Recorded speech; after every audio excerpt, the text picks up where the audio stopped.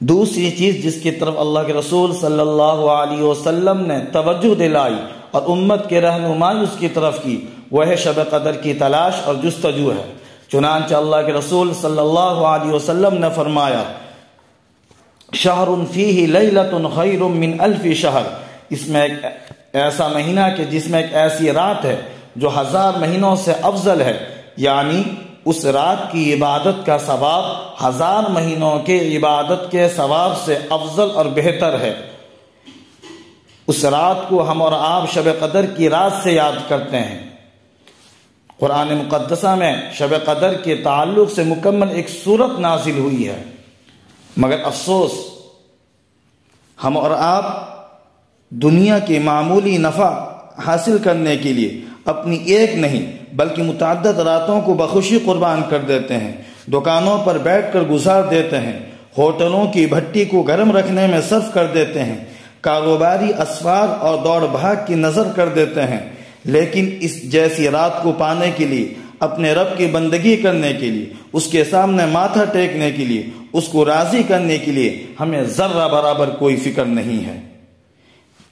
हमें नहीं शब कदर की तलाश होती है और नहीं रमज़ान की कीमती और मुबारक रातों की इबादत से मुजयन करने की फ़िक्र होती है। हालाँकि जिस कदर इसकी आजमत और जिस कदर इसकी फजीलत और जितनी अहमियत का यह हामिल रात है, उसको पाने के लिए अगर तीस रातें क्या, तीन सौ रातें हम कुर्बान कर दें, तब भी सौदा सस्ता है। इसीलिए हमें चाहिए कि सबसे ज़्यादा और आला दर्जे की बात यह होगी, हम मुकम्मल महीना शब कदर की तलाश में रहें। हर रात इबादत करें यही सोचकर, और इसी नीयत से कि आज की रात शब कदर की रात हो सकती है। और शब कदर की तलाश और जस्तजु में हमें मुकम्मल रमज़ान की रमज़ान की मुकम्मल रातों का अहतमाम करना चाहिए। और दूसरे दर्जे की बात यह होगी कि हम आखिरी आशा की तमाम रातों का अहतमाम करें। और तीसरे दर्जे की बात होगी कि आखिरी आशरा की ताक रातों का अहतमाम करें। चुनानचे अल्लाह के रसूल सल्लल्लाहु अलैहि वसल्लम ने फरमाया, तहर्र लैलतल क़द्र फिल वित्र मिन अल अवाखिर मिन रमज़ान। नबी सल्लल्लाहु अलैहि वसल्लम फरमाते हैं कि शब कदर को रमज़ान के आखिरी आशरा की ताक रातों में तलाश करो। ताक रातें, जैसे 21 की रातें 23 की रातें 25 की रातें और 27 की रातें उनतीस की रातें।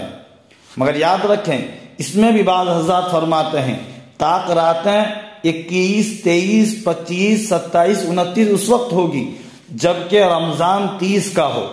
अगर रमज़ान तीस का नहीं, उनतीस का, फिर ताक रातें बाईस, चौबीस, छब्बीस, अट्ठाईस हो जाएगी। इसलिए हमें ये कोशिश करनी चाहिए कि हम रमज़ान की मुकम्मल आखिरी दस रातें शब कदर की तलाश में और शब कदर के पाने के लिए हमें इसका अहतमाम करना चाहिए। और इसका सबसे आला और अफजल तरीका और सबसे बेहतर तरीका यह है, हम एतकाफ़ कर लें। क्योंकि एहतकाफ में बैठने वाला शख्स एहतकाफ करने वाला शख्स शब कदर में अगर सो भी जाए, तब भी वो इबादत करने वाला शुमार होगा। और उस इबादत करने की वजह से वह हज़ार महीनों में इबादत, उस इबादत करने, उस रात में उसका सोने का भी जो सवाब है वह हज़ार महीनों में इबादत और अगर हम नहीं कर पाते हैं तो कम अज कम यही एहतमाम करें कि हम इनमें दस रातों का खूब एहतमाम करें। यहाँ दो बातें खास करके ख्याल रखें। एक बात, हमने शब कदर को 27 रमज़ान के साथ खास कर दिया है। 27 के शब, यानी 27 रमज़ान की रात को हम शब कदर ही समझते हैं। हम समझते हैं आज ही शब कदर है। इसी वजह से उसी रात में इबादत का खूब अहतमाम किया जाता है। बास मसाजिद में उसी रात ही में कुरान ख़त्म का अहतमाम किया जाता है। याद रखें यह सही नहीं है। शब कदर सत्ताईस में भी हो सकता है और इक्कीस में, तेईस में, पच्चीस में, इताक रातें किसी में भी हो सकता है। इसलिए शब कदर को सत्ताईस ही रमज़ान के साथ खास करना यह सही नहीं है।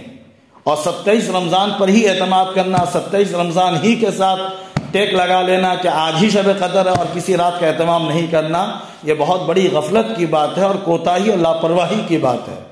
बल्कि कोशिश ये होनी चाहिए हम तमाम रातों का अहतमाम करें। दूसरी बात, रात में जागने और रात में इबादत करने का मतलब ये नहीं है कि हम बारह बजे के बाद जाकर इबादत करें। रात की इब्तदा मगरिब के वक्त से हो जाती है। लिहाजा हम इबादत भी शुरू कर दें मगरिब के बाद से। हम मगरिब की नमाज़ पढ़ने आते हैं।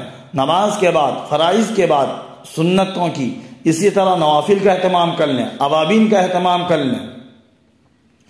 इसी तरह, अगर हमारा और आपका मामूल है कि हम मगरिब से लेकर इशा तक कुछ देर आराम करते हैं ताकि तरावी ठीक से पढ़ सकें तो उसी तरह आराम के दौरान हम और आप तस्वीर गिनते रहें तस्वीर पढ़ते रहें, ला इला पढ़ते रहें सुबहान अल्लाह अल्हम्दुलिल्लाह का ज़िक्र करते रहें, या हम, हमें जो भी सूरतें याद हैं, उन सूरतों को हम जबानी पढ़ते रहें।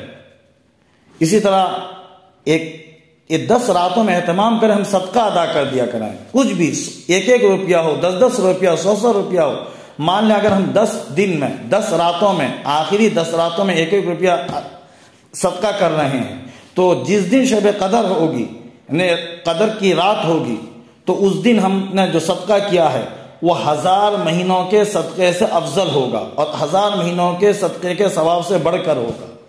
इसलिए इन दस दिनों में आखिर में सदक़े का अहतमाम करें तिलावत कलामुल्ला का अहतमाम करें, जो सूरतें हमें याद हैं, उसे चलते फिरते पढ़ा करें। घरों में भी कह दें कि आप कामकाज कर रहे हैं, खाने वगैरह का इंतज़ाम कर रही हैं तो आप भी तस्वीर वगैरह पढ़ते रहा करें। सुबह अल्लाह अल्हम्दुलिल्लाह, ये तो जबान में हर कोई शख्स पढ़ सकता है। काम करते वक्त हाथ इस्तेमाल होते हैं, पैर इस्तेमाल होते हैं, जबान तो इस्तेमाल नहीं होता है। इसलिए हम और आप खास एहतमाम करें। लिहाजा रात की इबादत के लिए हमको बारह बजे तक जागने की ज़रूरत नहीं है। हम बारह बजे तक भी खूब इबादत कर सकते हैं। तरावी पढ़ने आए तो इसी नीयत से आए कि आज शब कदर की रात हो सकती है। और तरावी के बाद, तरावी से पहले, सुन्नत नमाज़ से फारिग होने के बाद फ़राज नमाज़ से पहले, जब भी जितना वक्त मिले, इसी नीयत से कि आज शब कदर की रात होगी। हम ज़्यादा से ज़्यादा तस्वीर पढ़ लें, ज़्यादा से ज़्यादा कलामुल्ला की तिलावत कर लें, ज़्यादा से ज़्यादा दुर शरीफ पढ़ लें, ज़्यादा से ज़्यादा इस्तफ़ार कर लें, ज़्यादा से ज़्यादा हम सदका कर लें। इसलिए खूब इस रातों का अहतमाम करें।